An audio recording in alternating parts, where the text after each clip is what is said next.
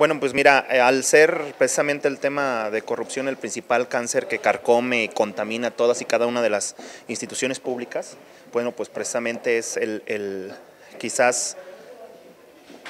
el, tema que más, más atención debemos de, ponerle todos los diputados. Eh, se tiene que emitir una norma general lo más perfectible posible, que le cierre el paso a la corrupción, a los malos gobiernos, a, las prácticas nocivas que por años han estado presentes y bueno, con esto castigar además a quienes infrinjan el Estado de Derecho y defrauden a los potosinos.